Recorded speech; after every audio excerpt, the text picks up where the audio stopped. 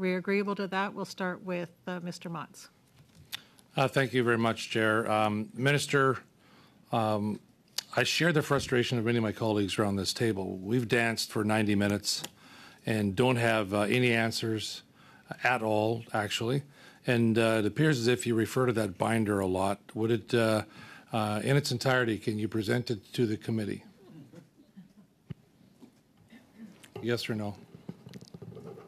I make no apology for preparing well, are you- carefully for appearances Fine, like can these. you present that binder to the and committee, I please? believe in doing my homework. These notes are for my own personal use. Um, Well, can you present them to committee, yes or no? Obviously, that's a no. Um, Did you sign the memorandum um, to cabinet proposing the declaration of the emergency?